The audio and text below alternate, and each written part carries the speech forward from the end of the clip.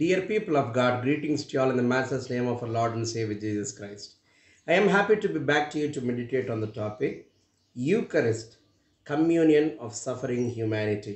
ప్రభు భోజన సంస్కారము బాధిత మానవాళితో సహవాసం అనే అంశాన్ని గురించి ఇది మనం ధ్యానం చేస్తాం మహాబేస్తవారానికి ఉపయోగించుకునదగినటువంటి లేఖన భాగం ఇది అట్లనే ఆ, ప్రభుభోజన సంస్కారం అనే అంశంలో కూడా మాట్లాడవచ్చును కానీ ఇది ఆ, మహాబేస్తవారము కొరకు ఏర్పాటు ఆదేశ గురువారం మాండీ థర్స్డే కొరకు వాడుకొనదగినటువంటి బోధింపదగినటువంటి వాక్య ధ్యానం.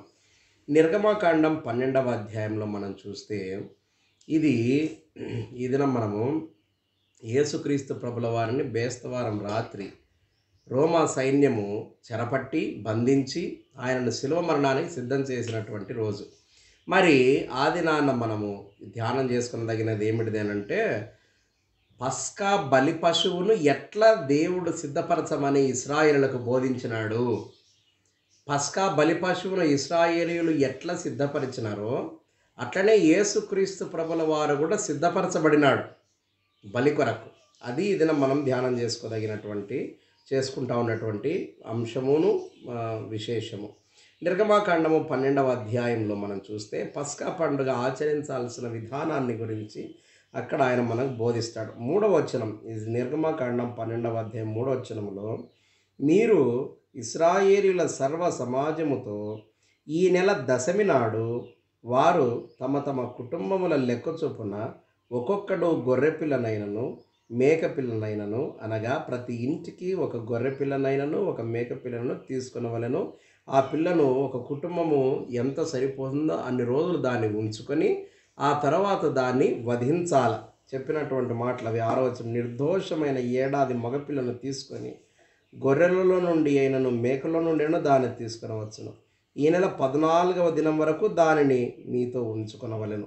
తర్వాత ఇస్రాయేళ్ళ సమాజం వారందరూ తమ తమ కుటుంబములతో సాయంకాలం మందు దాన్ని చంపి దాని రక్తము కొంచెము తీసి తాము దాని తిని ఇండ్ల ద్వారబంధముల రెండు నిలువు కమ్ముల మీదను పై కమ్మి మీదను చల్లి ఆ రాత్రియే వారు అగ్నిచేత కాల్చబడిన ఆ మాంసమును పొంగని రొట్టెలను తినవలెను చేదు కూరలతో దాన్ని తినవలెను.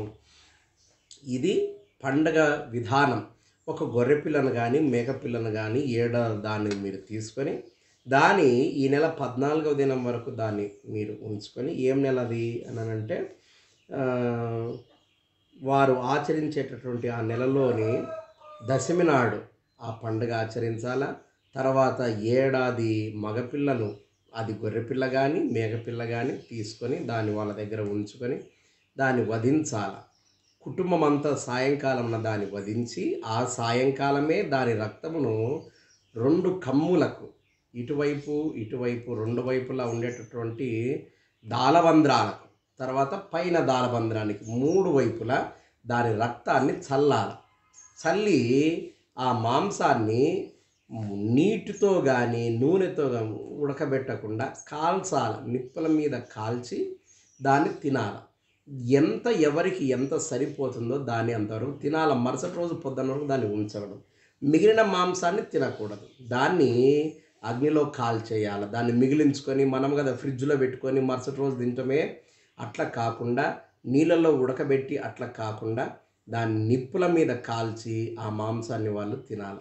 ఆ తర్వాత దాని రక్తము నిష్కలంకమైన గొర్రెది కానీ మేకది కానీ ఏడాది వరకు పెంచబడిన ఆ గొర్రె పిల్ల మేకపిల్ల రక్తం మూడు వైపుల గడప కమ్ములకు పుయ్యాల. ఎందుకు అనంటే ఇది మరణ దూత నుండి వారిని రక్షించే ఒక గురుతు నిష్కలంకమైన గొర్రె పిల్ల యొక్క రక్తం వారిని మరణములో నుండి రక్షిస్తుంది. ఎందుకు అనంటే దేవుడు ఆ రాత్రి మరణదూతను ఐగుప్తు దేశం అంతటి మీద సంచరింపజేస్తాడు. ఆ దూత ఆ ఐగుప్తు దేశం మీద సంచరించినప్పుడు మొదట తొలిచూరున పుట్టిన పశువులలో కానీ మనుషులకే కానీ తొలిచూరున పుట్టిన ప్రతి మొదటి బిడ్డ చనిపోవాలా. ఆ మరణదూత సంహరిస్తుంది. ఆ మరణములో నుండి తప్పించబడడానికి ఒక గురుతు ఏమిటిదనంటే నిష్కలంకమైన ఈ గొర్రెపిల్ల రక్తం. వాళ్ళు పూసిన గడప కమ్ములకు పూసిన ఆ రక్తం.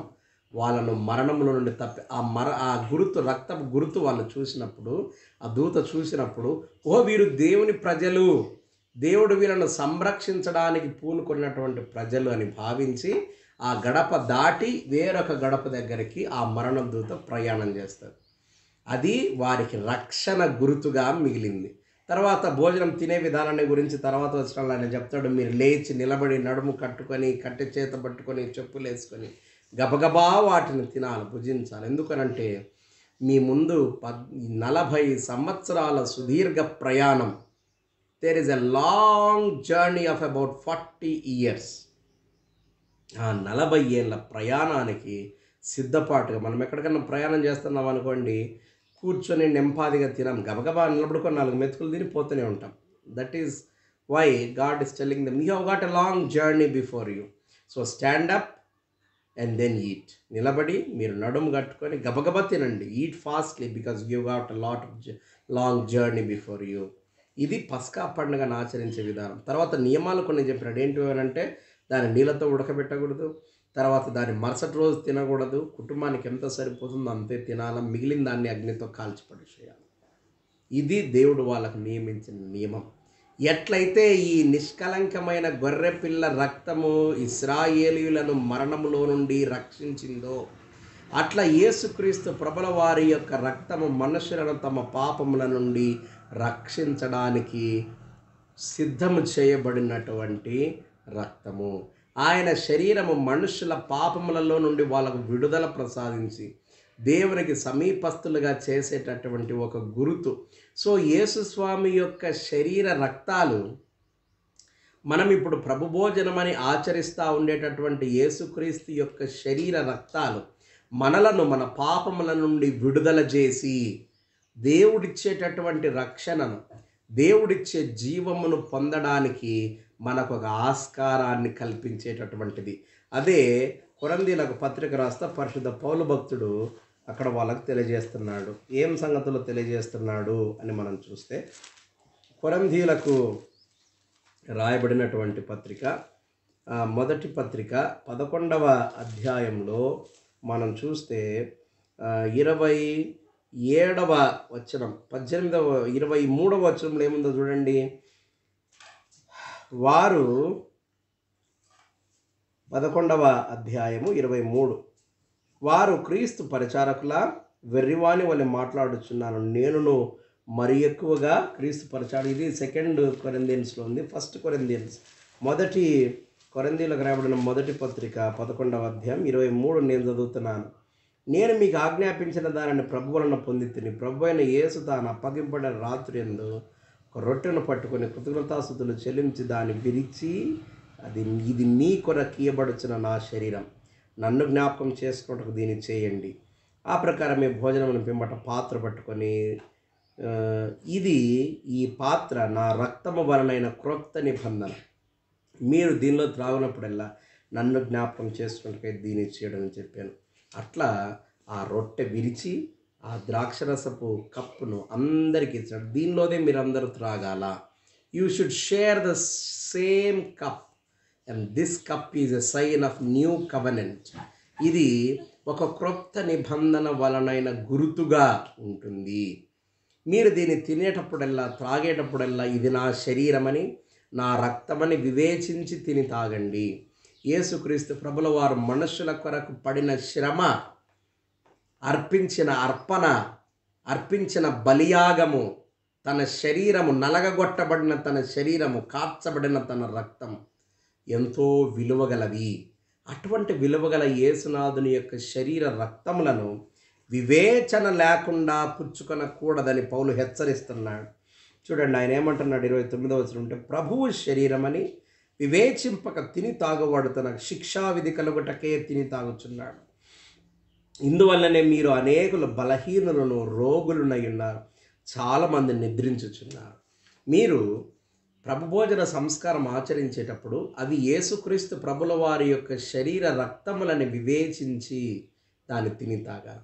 అంతేగాని ఇష్టానుసారంగా లేనిపోని పాపపు పనులన్నిటిని చేసి తర్వాత మనసులో ప్రశాంతత లేకుండా ఇరుగు పొరుగు వారి మీద కుట్రలు బన్ని వాళ్ళను కించపరచి నువ్వు ప్రభోజనానికి వస్తే అది ప్రభు యొక్క శరీరమని రక్తమని వివేచింపక తిని తాగితే నీకు శిక్షావిధి కలుగుటక పనిచేస్తున్నావు. చాలామంది అందుకే మీలో జబ్బు రోగపాలవుతున్నారు జబ్బు పాలవుతున్నారు చాలామంది నిద్రిస్తున్నారంటే చనిపోతున్నారు. అదేదో నిర్ధారణ ఇప్పుడు చాలామంది ఏమనుకుంటున్నామంటే నిర్ధారణ అంటే ఓట్ల కోసం నిర్ధారణ తీసుకుంటే ఓటు వస్తుంది మనకు. నో. ప్రబోజనము తీసుకుంటే మనము సభ్యులమవుతాం కంప్లీట్ సభ్యులమవుతాం ఓటేయచ్చు. దానికోసం కాదు. ఒక ఆత్మీయమైన ఆలోచనలోనికి మనం పోవాలి? అది ఓటు కోసం తీసుకునేది కాదు అది. ఏసుక్రీస్తు ప్రభుల వారి యొక్క శరీర రక్తం ఆయన శరీరం నలగగొట్టబడి నలగగొట్టబడిన ఆయన శరీరంలో నుండి రక్తము ధారలై పారింది. మనుష్య రక్షణ కొరకు యేసునాథుడు సలిపిన ఒక యాగం అది. ఆ పవిత్ర యాగానికి మనం విలువనియాల్సి ఉంది. ఆ పవిత్ర యాగానికి విలువనీయకుండా మనం ఇష్టానుసారంగా ఆయన శరీర రక్తాలను పుచ్చుకుంటే మనలో చాలామంది జబ్బు పాలవుతున్నారు చాలామంది నిద్రిస్తున్నారు. ఎక్కడ పడితే అక్కడ ఇప్పుడు ఇష్టానుసారంగా రూములు రెంట్కు తీసుకొని అక్కడ ప్రభుబల్ల ఆచరి ఏమిటిది ఇది? వాట్ ఈస్ హ్యాపెనింగ్ ఏది ఆ రొట్టె ముక్క ద్రాక్షరసం అవి కాదు అది ఏదో అవి ఎంతో ఒక రూపాయి అర్ధ రూపాయి రెండు రూపాయలు కూడా విలువ చెయ్యవు అవి. డబ్బుతో మనం కొనాల్సి వస్తే. ఆ చిన్న రొట్టె అంత చిన్న గ్లాసుడు ద్రాక్షరసం. అయితే ఎప్పుడైతే గురువు ప్రార్థన చేసి ఆశీర్వదిస్తాడో వాటిని అవి యేసు స్వామి యొక్క శరీర రక్తములుగా మార్చబడతాయి. ఒక ఆత్మీయ విలువను సంతరించుకుంటాయి. ఆ ఆత్మీయ విలువలను జ్ఞాపకం చేసుకుంటా వాటిని ఆచరించాలా? యేసుక్రీస్తు ప్రభులవారు బేస్తవారము ఆయన ఎరుషలేములో తన శిష్యులతో కలిసి చివరిసారి భోంచేసి ఆయన ప్రార్థన చేసుకోవడానికి వలీవల మనబడిన కొండ దగ్గరికి పోయినాడు. గెచ్చమనే తోటకు పోయి అక్కడ ఒంటరిగా ఆయన ప్రార్థన చేసుకుంటున్నాడు. ఇక్కడ మన జ్ఞాపకం చేసింది ఏంటంటే యేసు స్వామి తాను ఏ పాత్రనైతే వహించవలసిందో ఇప్పుడు ఈ గెచ్చమనే వనంలో ఏ పాత్ర వహించాల్సిందో అది మొయ్యలేనటువంటి ఒక స్థితిలో ఉన్నాడు. అందుకని గెచ్చమనే వనంలోనికి ఆయన ఒంటరిగా పోయి మోకాళ్ళ మీద కూర్చొని ఏడుస్తున్నాడు. ఈ లిటరలీ స్టార్టెడ్ టు క్రై దేవాన్ని చిత్తమైతే ఈ పాత్ర నా నుండి తీసేయి నాయన. ఆ రాత్రి ఆయన భోజనంతో కూర్చున్నప్పుడు ఇస్కరియోత్ యూదా వస్తున్నాడు. పన్నెండుగురు కూర్చున్నారు. యేసుస్వామి అంటున్నాడు మీలో ఒకడు నన్ను సిలువకు అప్పగిస్తాడు వారందరూ ఎవరు ఎవరు ఎవరు ఎవరు ఎవరు అని మాట్లాడుకుంటుంటే యేసునాథునితో ఇస్కరియోత్ యూదా నేనా ప్రభా? నీకే తెలుసు యూదా? నీకు నీకే తెలుసు ఏం జరుగుతూ ఉందో. యూదా కరుణి అవమాన భారంతో లేచి వెళ్ళిపోయినాడు. యేసు స్వామిని గెచ్చమనే వనంలో పట్టాలనని సైనికులను తీసుకున్నాడు. గెచ్చమనే తోటకు పోయినారు. గెచ్చమనే తోటలో యేసు స్వామి భారంగా ఉన్నాడు. భారమైన మనస్సు. ఎందుకనంటే ఆయన అక్కడ రోధనలో ఉన్నాడు. ఎందుకు రోధన ఆయనకి ఎదురయ్యే హింసలు ఆయనకు తెలుసు. కొడతాడ కొడతారని ఈడ్చి చంపల కొడతారని కొరడాలతో కొడతారని అవమానిస్తారని ముండ్లు గుచ్చుతారని ఆయనకు తెలుసు. ఆయన వహించాల్సిన పాత్ర భారభరితమైంది. శారీరక వేదనతో మానసిక వేదనతో నిండినటువంటిది ఆ పాత్ర. అందుకని తండ్రితో ప్రార్థిస్తున్నాడు తండ్రి నీ చిత్తమైతే ఈ పాత్ర నా నుండి తీసే నాయన. నేను మొయ్యలేను దీనిని నేను మొయ్యలేను. నీ చిత్తమైతే తీసేసి please remove this from me అని ప్రార్థన చేస్తూ ఉన్నాడు యేసు స్వామి. తన తండ్రి అయిన దేవునికి అంత వేదనను అనుభవించినాడు ఆ రాత్రి ఆయన. మరి ఇస్కరియోత్ వచ్చినాడు. యేసు స్వామిని కపట ముద్దాడినాడు. ఒక ముద్దు పెట్టినాడు. సైనికులు కనుక్కున్నారు. యేసు స్వామిని పట్టినారు. పేదరు వెంటనే కత్తి దూసి అతని మలుకు చెవిని నరికి పడేసినాడు యేసుస్వామి ఇన్స్ట్రక్ట్ చేస్తున్నాడు పేతురుతో పేతురు నీ కత్తిని వరలో పెట్టు. కత్తితో సాధించాలనుకుంటే నేను సాధించవచ్చు నేను సమాధానం అందుకని మనం మట్లాదివార దినాన్ని ధ్యానం చేస్తాం. ఆయన సమాధాన సంబంధమైన రాజుగా సియోనులోనికి ప్రవేశించినాడు. యుద్ధం చేయడానికి కాదు యుద్ధపు విల్లు లేకుండా విరిచేస్తానని చెప్పినాడు. ఇప్పుడు యేసుస్వామి పేతురుతో అంటున్నాడు నీ కత్తిని వరలో పెట్టు నేను అడిగితే ఇంతకంటే గొప్ప సైన్యం వస్తుంది. నా తండ్రి నా కోసం పంపిస్తాడు. అయితే ఇప్పుడు ఇట్లా జరగాల్సింది నేను ఈ దారి గుండా ప్రయాణించాల్సింది పేతురు పెట్టు నీ కత్తిని వరలో పెట్టు. అని పేతురుని హెచ్చరించినాడు యేసునాథుడు. యేస్వామి వాళ్ళతో అంటున్నాడు అయ్యా నేను ఇన్ని రోజులు మీ మధ్యన తిరిగిన నాలుగు రోజులు తిరిగిన కదా? పగలంతా తిరిగితే కదా నన్ను పట్టుకోలేదే మీరు? ఇప్పుడే మీ మొబ్బులో రాత్రి వేళ వచ్చినారు దొంగను పట్టుకున్నట్టు మీరు కత్తులతో గుదిలతో ఈటలతో వచ్చినారే? నేనే క్రీస్తును. పదండి పోదాం. ఆ రాత్రి పిలాతు దగ్గర తీసుకుపోయినారు. పిలాతు హేరోదు దగ్గర పంపించినాడు. హేరోదు అవమానించి ఉండ్ల కిరీటం గుచ్చి రెల్లు కర్ర చేతికిచ్చి ఊదారంగు వస్త్రమేసి యూదుల రాజు జయమని అవమానించి శిష్యులతో కొట్టించి సైనికులతో కొట్టించి అవమానించి అక్కడ నుండి మళ్ళా పిలాత్ దగ్గర పోయినాడు. ఆ రాత్రంతా యేసుక్రీస్తు బేస్తవారం రాత్రంతా శ్రమ కోర్చినాడు బాధపడినాడు శ్రమను భవించినాడు.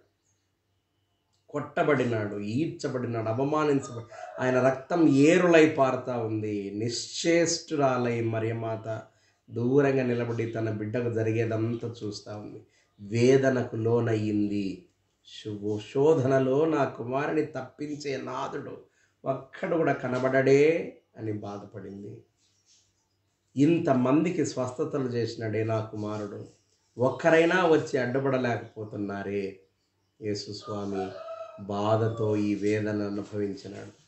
అయితే ఒక పక్క తన తండ్రి తనకు అప్పగించిన బాధ్యత నెరవేరుస్తున్నాడన్న సంతోషం ఆయన మదిలో ఉంది.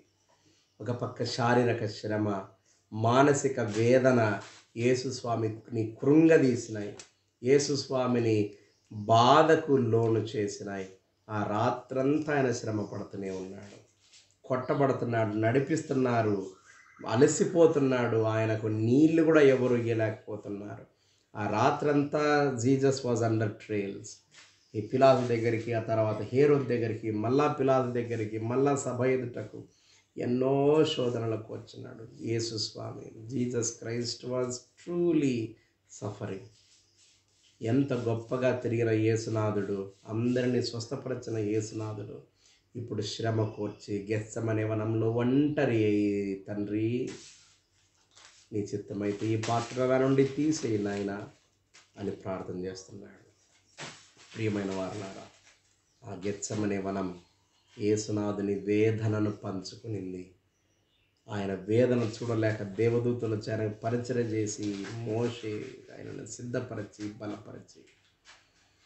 యేసుస్వామి శుక్రవారం అనుభవించవలసిన శిలువ శ్రమ కొరకు యేసును ఆయుక్తపరచినారు.